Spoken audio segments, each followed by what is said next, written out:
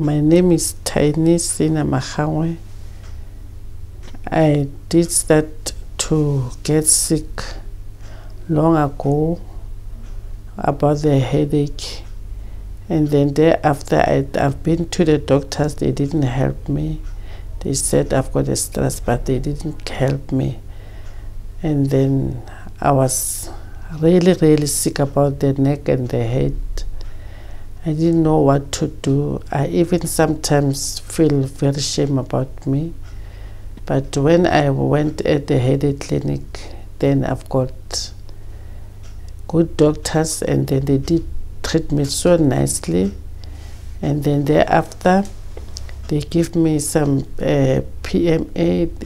This PMA did helps me a lot since I went at the headache clinic, I'm feeling much, much better. Thank you very much, guys. God bless you all.